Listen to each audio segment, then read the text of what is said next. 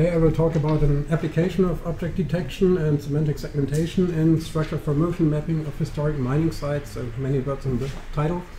Um, I'm working in a interdisciplinary research project um, of the mining heritage on the Harz Mountains, and we are four people working part-time. Our archaeologist um, works for the state office.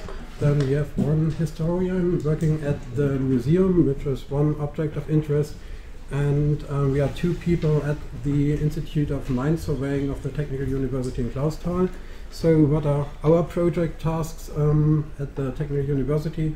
First, um, the 3D reconstruction of parts of the historic mining system of Rammelsberg. So that's the data set I will show you later as an example.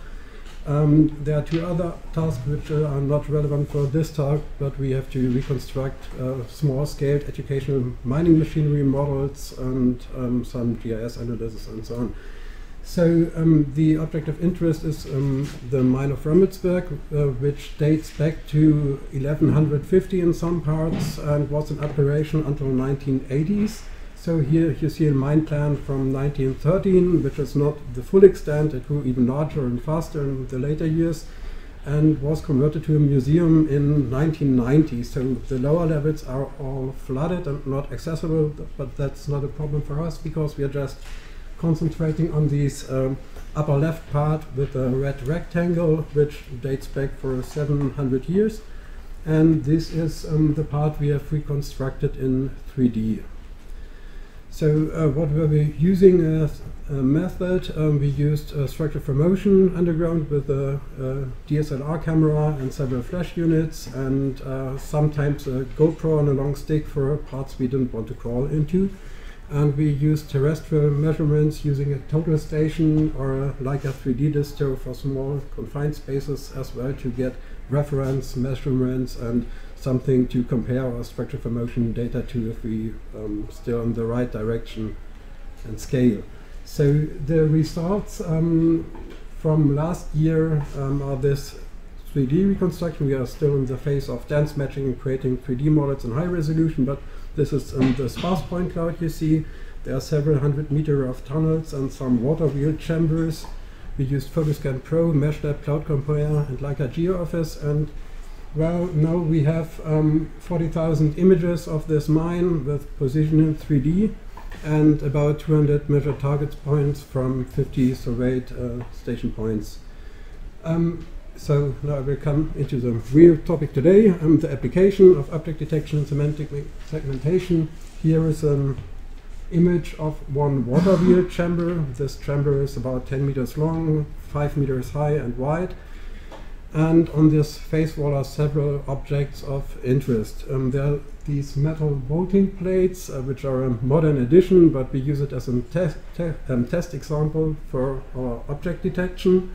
Um, there are sometimes boreholes from black powder blasting, which are more of interest for archaeologists, and there are tool marks.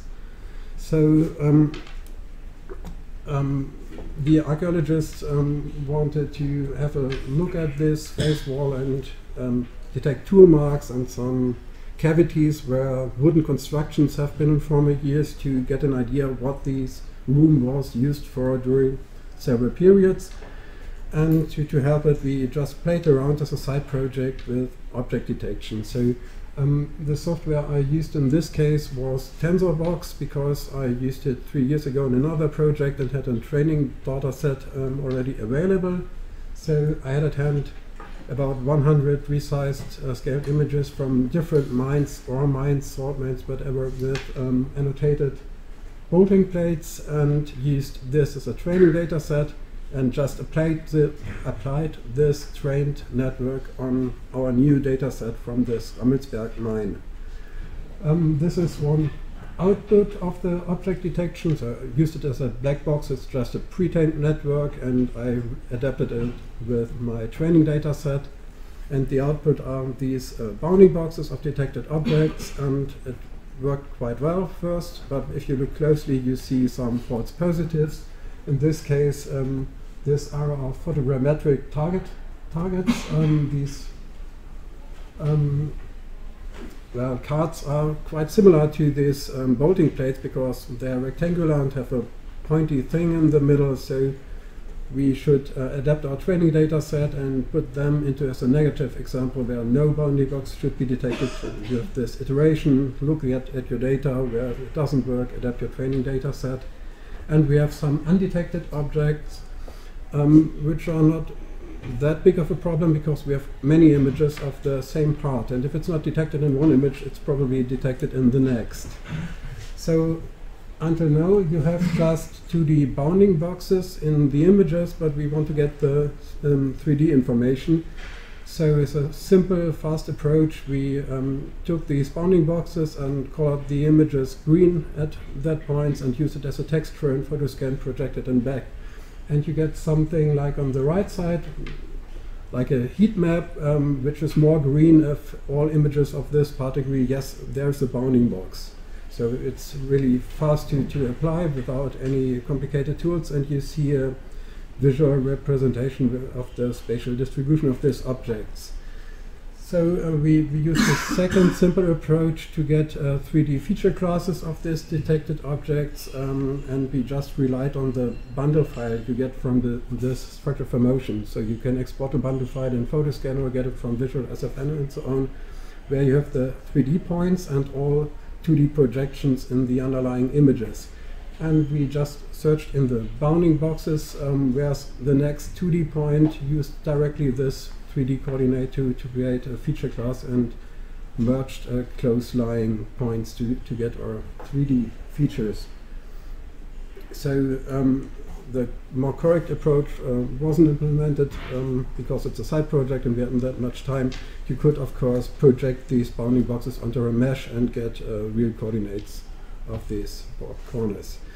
So um, that's the object detection part. Here you see one part of the model um, consisting of 20,000 images with this um, yeah, green heat map texture applied. And there are some spots at these chambers where you see, okay, there are many bolting plates and some bolting plates on, in, in the tunnels and some false detections as well. But it worked quite nice and we, uh, yeah, at least could use this as a tool for the real objects of interest. So the next step here would be to create a training data set of our boreholes and probably tool marks and adapt it, um, retrain a network to, to detect these in 3D. Um, yeah, the next part of my talk is about uh, semantic segmentation, so pixel-wise labeling. Um, and um, the inspiration came from a ecologist who said, okay, this is a nice uh, face wall in this chamber, but I don't like these uh, wire meshes. They obstruct the surface. Could we just remove them somehow? Well, yeah, we, we can try. So um, here you see an image. Um, this is a stone of the face wall and these bolting plates, a nice smiling uh, photogrammetric target and these wire meshes. So um, if you remove these um, wires in the image, you see just the face and probably you could see more. Um, so how to detect this? Um, we first tested a simple geometric approach use the point cloud, create an averaging mesh which probably lies between these wires and the stones and filter it out and it works, but just in areas where there's a mesh. Um, in all other area, areas it um, yeah, cut off the stones. So we had to uh, segment our images uh, into mesh parts and non-mesh parts, so why not directly classify each um, pixel which is a wire. So we used semantic segmentation, took some inspiration from this UNet paper uh, of biomedical image segmentation. They used pixel-wise labeling of cell borders and these um, in microscopic image. And these cell borders had quite an organic structure like our meshes, and um, they had the same problem. They just a very small training set because it's a tedious process to manually label all these images. So um, we had to label as well some images. Um, we had 10 labeled images, so they are about uh, 10 megapixel images, and 10 of these images are labeled by hand. You see a labeling on the right side. Ask my colleagues why we got not more data, but we have to, to make some data augmentation to really train our network on, on that. And um, for that, we um, extracted several patches of the input side of size of the neural network. So it has an input size of 500 times 500 pixels, and we have this 10 or 20 megapixel images, so we could extract many patches at many different resolutions and rotate these patches. What we could, as well as in this biomedical images, um, distort the images without uh, creating problems for this specific data set. So here you see a patch of, of this wire mesh and you see some random distortions of this image which were used for training because it's still valid in, in this case.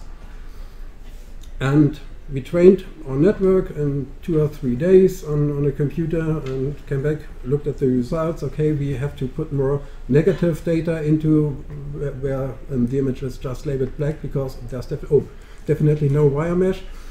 And um, we trained it again and you see here an original image and here the um, predicted labeling on this image. And another example, um, this is the original image. This is um, the labeling which uh, got out of the trained network. And here you see one water wheel chamber as a texture 3D model and the same model with um, the 1500 predicted images as a texture. So if my archaeologist um, would be interested in this wire meshes, he probably would be very glad to, to have this because he could see um, where the wire mesh lies on the model, but um, well, unfortunately he isn't.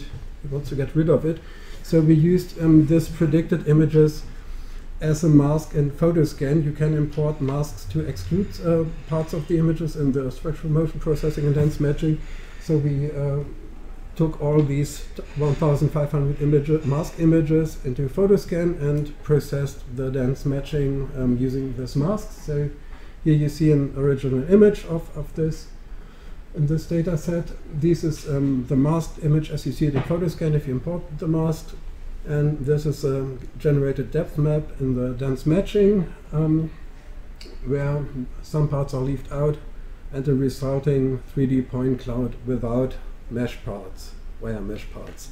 It's not a perfect result. We have still some errors from shadows of the wires and um, some problems in the dense matching. So it's not the perfect, uh, unobstructed surface we wanted to have, but at least it is a start. Here's a textured mesh um, of this part without the wires. So if you go back, this is an original image. And this is somehow an idea how it would look without this wire parts. So um, thank you for your attention.